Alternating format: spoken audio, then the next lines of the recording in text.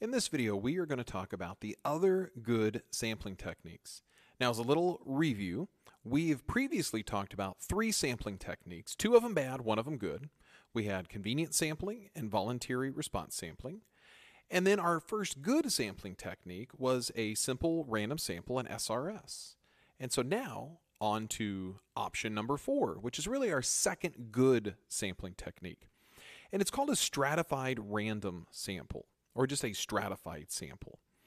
Uh, the goal of a stratified random sample is to divide our population into homogeneous groups that we can call strata, thus the stratified, and select an SRS, a simple random sample from each strata. So notice I've got my green shirt people, I got my red shirt people, so I've divided them by homogeneous or a similar characteristic. In this case, we have all my green shirt people over here, all my red shirt people over here. And once I've split them up into these strata, I need to now take a simple random sample from each. Okay, so I'm doing multiple simple random samples. In this scenario, I only have two strata, but there could be scenarios where I have more than two strata. Uh, and in those cases, I would take a simple random sample from each of those strata or those homogeneous groups. Now, this will allow us to obtain a sample that maybe better represents the population of interest uh, versus just taking a simple random sample. Because consider the scenario if this was again our population of these green shirt and red shirt people, and let's say I just want to randomly select, um, I don't know, five people from my population. Well, there's a chance that all five of my people could be red shirt people. There could be a chance that all five of my people I select are green shirt people. And green shirt people and red shirt people may have a difference of opinions on whatever topic I want to question them about. So if I think that there's going to be a difference in some way in how certain people will respond to my question of interest, then I might consider doing a stratified random sample. So I've got two examples really to kind of for you to consider uh, a stratified random sample. So first we want to survey 100 high school students about food preferences in the cafeteria. So I could just do a simple random sample and out of let's say at our school we have 2000 students and so if i want to take a random sample of 100 students there could be a chance that my 100 selected students um, maybe they're all freshmen. And will freshmen have the same food preferences as say seniors? Probably not. So if i really wanted to get a good random sample and make sure that i get um, as close as possible to equal representation from each grade level, then I might split up my 2,000 students into grade levels. And I have my freshmen, maybe I have my sophomores, my juniors, and my seniors. Now, let's say at my school, let's imagine in a perfect scenario, there's 500 of each of those students. And so if I wanted to survey 100 students, then I would split that up four ways. And then maybe I take a simple random sample of 25 of the 500 freshmen. I take a simple random sample of 25 of the 500 sophomores, and so forth and so on until I have taken really four simple random samples of size 25 each that I then combine together to get my ultimate sample size of 100. The other scenario in a survey about social justice issues. We want a sample that reflects the local population that is 60% white, 25% Hispanic, and 15% black. So, this we can already see what those strata are. We're just going to have people separated by white, Hispanic, and black. So, if I had my whole population of white people, um, now, I don't necessarily want to take equal representation because there's not as many white people as there are Hispanic people as there are black people.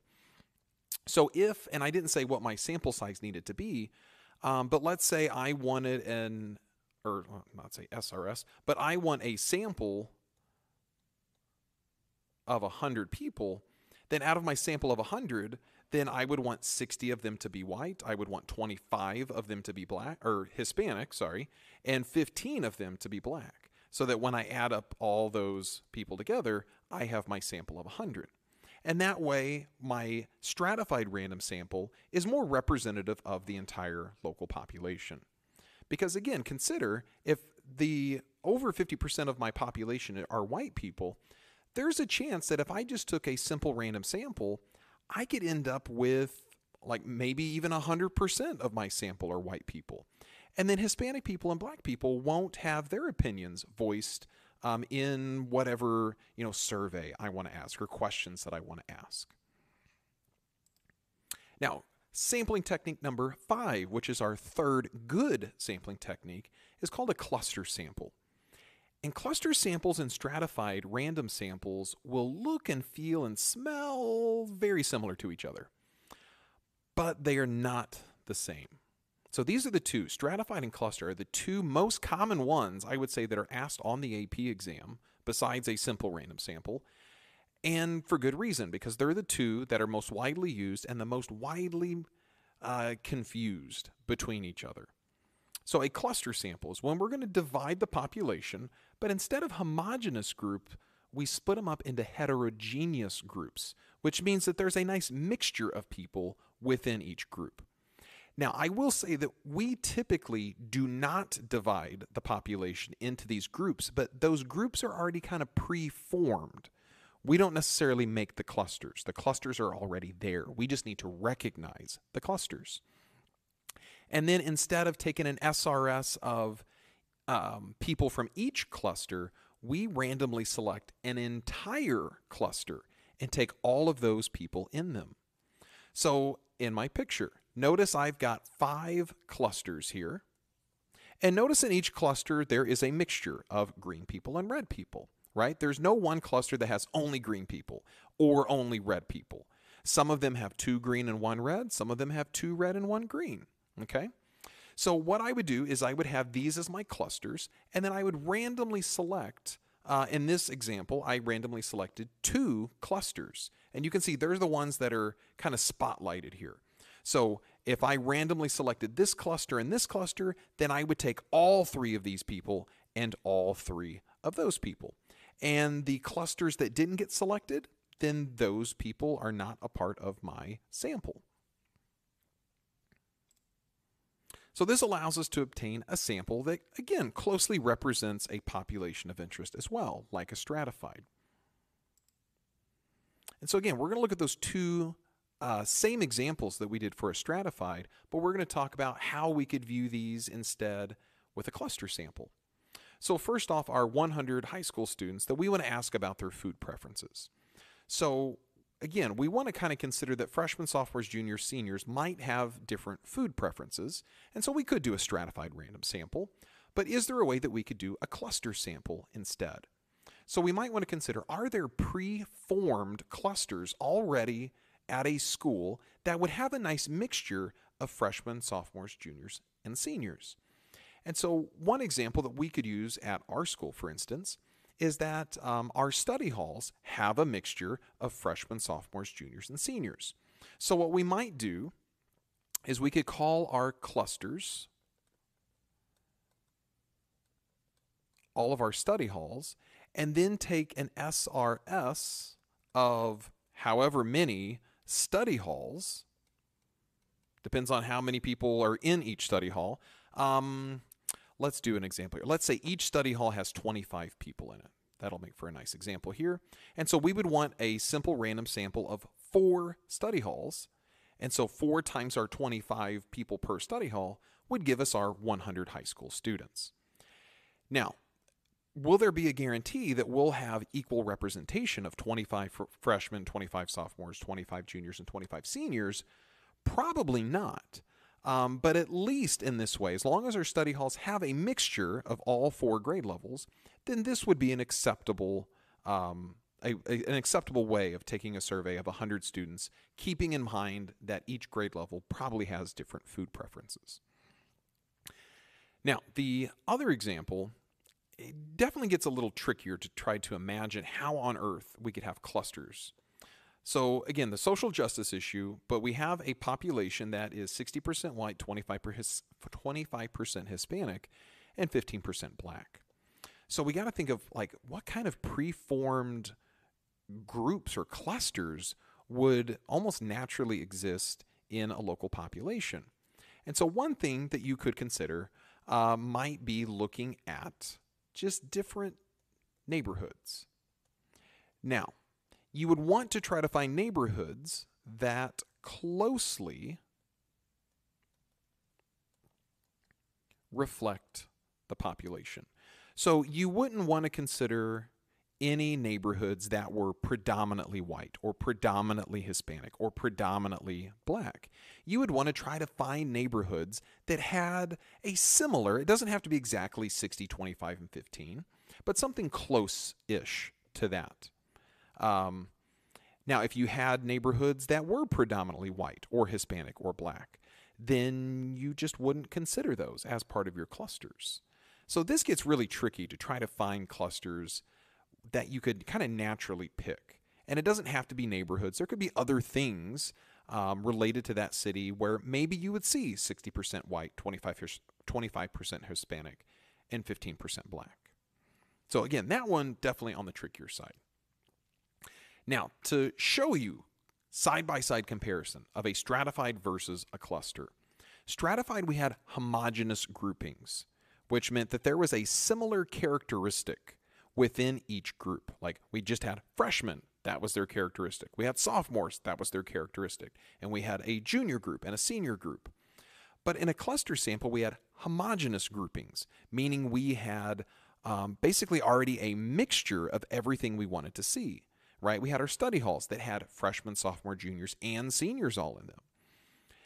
Then it comes down to how do we randomly select in each of these? So in a stratified, we randomly selected some people from each and every strata that we had, right? We selected some freshmen, some sophomores, some juniors, some seniors. We didn't select all of the freshmen, but just some of them. Likewise with the other three grade levels.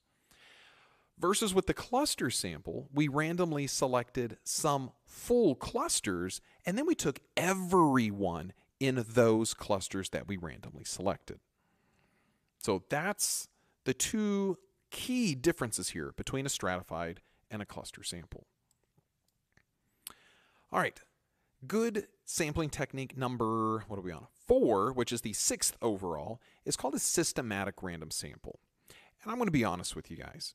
This one and the next one really aren't hit too heavily on the AP exam, but they're really good, like multiple choice filler answers, right? I would say most of the time, SRS, stratified, and cluster are going to be the main ones that the AP exam is really going to go after. And then, you know, they're like, we need two more multiple choice options. What, what, what other kind of random samples could we use that are good? And systematic and the next one usually will follow. So I'm not saying they'll never ask questions about this one and the next one, but chances are they're not probably going to ask too many questions on these, if any. So for our systematic random sample, we are going to arrange the population first. We can either literally line people up, or we can have people kind of lined up in a spreadsheet, for instance. And then we're going to select a random starting point. So notice I've got this star right here. And so let's say I just randomly pick this person. Okay, they are my random starting point. And then I'm going to select every kth person until I have my sample. Now, k in this case represents our population size divided by our desired sample size. So I'm going to use my school as an example here. We have a population size of about 2,000. And let's say I wanted to get a sample of 100 students. So my desired sample size of 100 goes here. So 2000 divided by 100 would make k equal to 20. So I would select every 20th person to obtain my sample. Where do I start? With my one random person, which I selected here. So if I call this my first person, then I add 20 on down the line here, or I look at the you know, the 21st entry in my spreadsheet, then the 21st person, that's my second person really that's in my sample. And then I add 20 more onto that. And then the 41st person is the third person in my sample. And I keep going along the line or my list, going every 20 until I get through the entire list, and I might have to wrap back around at the beginning of the list if I don't make the list start at specifically uh, this person and call this person my first person. But you may have to wrap back around to get to all 100 people that you want in your systematic random sample. Now, systematic random samples work great when you have, say, a database or a spreadsheet where you have a full list of people that you can easily kind of order. And it's usually easier to perform than an SRS because you already have this nice list. But there's unfortunately the potential of having more bias than an SRS. Now, the last one, and this is the least used one out of all of our sampling techniques, but is really used in very common, like big cases with big populations and big samples, is just called a multi stage random sample. And all it really represents is any two or more sampling techniques that we've previously mentioned done consecutively. So, for instance, if we have a huge population, we can slowly whittle it away into a good sample. So, for instance, what if we started with the United States? Um, we could use the states as strata and we randomly select some. I don't know, what could we randomly select? We could randomly either just randomly select some people from each state, or we could randomly select um, counties, let's say, from each state.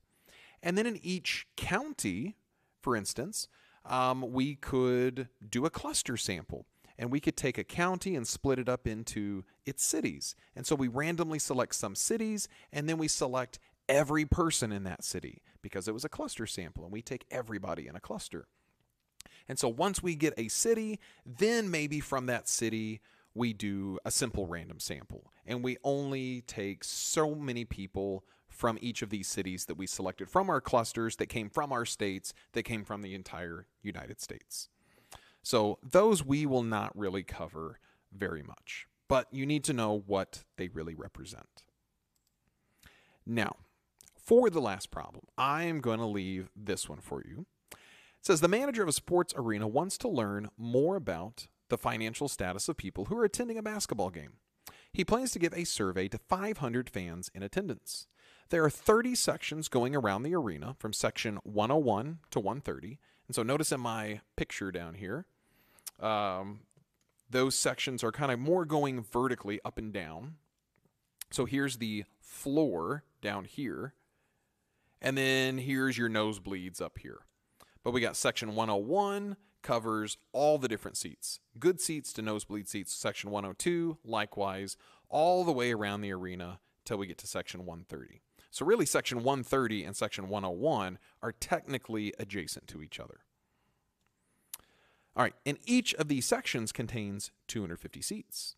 There are 25 rows per section, and we call those rows A, which is our floor level, all the way up to Y, which is our worst nosebleed level. Now, rows A through E, those tickets cost $200 each. And rows F through J, they cost 150 bucks each. K through O, 75, P through T, 50, and U through Y cost $25. So, what I would like you to try to do is to write a scheme, like describe to me how you would take a stratified random sample using the lettered rows. Okay? So, I'm telling you what to use as the strata in this case, but how would you go about taking, in general, a stratified random sample using the lettered rows? You don't actually have to do the stratified random sample, just describe to me the process that you would use. Then I want you to write a scheme that would take a cluster sample, but using the numbered sections instead. Again, you don't actually have to carry out the sample, but just describe to me the process of doing a cluster sample. And then, once you've done those two, and I want you to think about which of the two types of samples, the stratified random or the cluster, do you think is better? And can you give me any sort of explanation why you think the one is better than the other? Good luck, and we'll talk about this one the next day in class.